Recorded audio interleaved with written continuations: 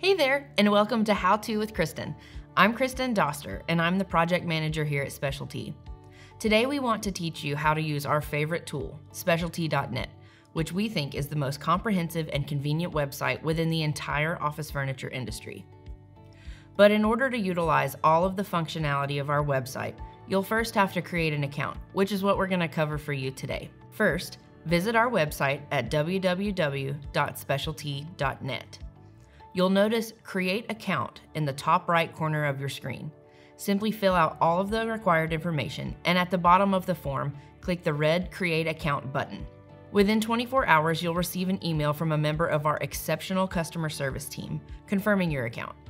Once your account is approved, you'll be able to generate and edit all of your quotes, check all of your orders, and in the event that you have a warranty, you can fill out a claim. You'll also have direct access to your local sales rep, as well as the friendliest customer service team in the country.